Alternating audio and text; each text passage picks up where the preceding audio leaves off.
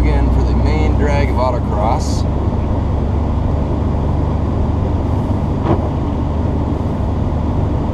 Find a nice spot to park here.